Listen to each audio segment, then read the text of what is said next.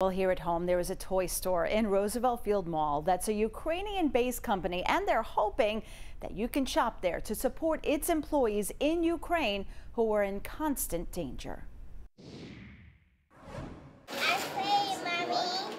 Bring joy to kids, and the managers of Hey Joy Toy Store in Roosevelt Field Mall hope to keep doing that. 8143, okay? But what you may not know is that this newly opened Hey Joy Toy Store is a Ukraine based company employing 12 Ukrainians who run the company's operations and make these toys in western and central Ukraine. It's crazy because they're in the middle of a war and they're still working, you know, and like during conference calls or just uh, conversations on phone, you know, they have to like bow out and go into a bomb shelter. The company's owner in Ukraine says so far they've avoided attacks, but their lives and those of their families have been upended.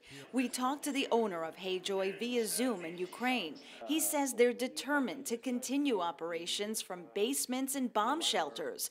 And he says the best way to support them is to buy toys from their store. Allows us to be in business, to support our uh, workers in Ukraine to support our factories as like we we need to win this war, but we need to uh, have an economy working and we need to like survive through all of this. So some of these toys inside this toy store are actually made in Ukraine, like this paint by number and this construction block set. So when you buy them, all the proceeds go to the employees and their families. This candy is also made in Ukraine, and for some kids, buying it and supporting the cause seemed like a sweet idea.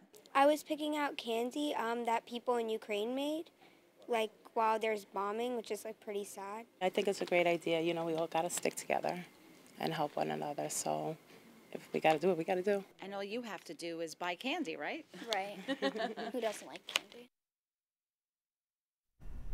And she's right, who doesn't like candy? And if you can't make it to the store to buy the toys or candy, there is a QR code and a link to the GoFundMe page that goes directly to helping the employees and families. And you can find that information on our website at news12.com.